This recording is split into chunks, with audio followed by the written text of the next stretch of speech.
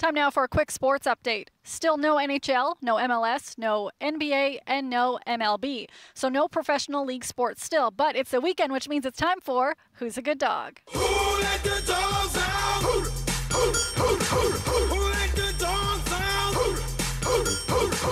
Today's chorus was a beautiful empty field with the fresh smell of wet dog.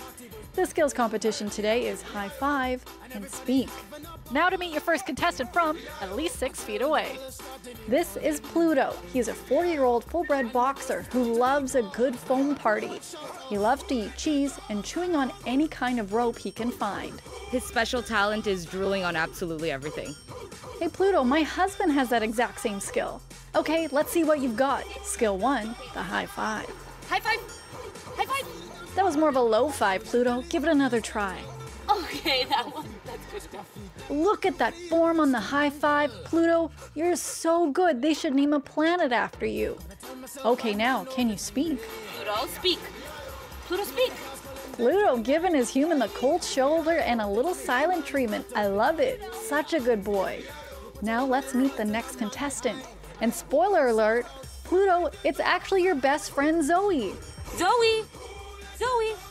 This is Zoe, and she is a blonde bombshell who's a four year old German Shepherd Husky mix. She loves to eat any kind of dog snack and is a big fan of stuffed animals. Her special talent is uh, she's an escape artist. Whoa, I think somebody has a Hollywood movie in their future. Okay, Zoe, let's see how you do with the high five. High five. High five. Good girl. High five. Okay, somebody get this dog an agent. But Zoe, can you speak? Come on, speak. Zoe, you have your human trained so well. You got them to speak. I think we found the Houdini of dogs. Let's take a look at our online contestants, which include a couple pups who have great taste in TV. Look at Stella. She's a puggle who not only has the best dance skills, but look, she's watching the tournament Who's a Good Dog? Oh, and look at Rick. That is a good boy. Look at the balancing skills on that couch. I think we have a gymnast on our hands. Aw, it's fine. And finally, check out Bo with the fist bump with his best pal. I tell you, Howie Mandel would be proud. A lot of great contestants this week, but let's see if we have a winner. Let's check in with the judges.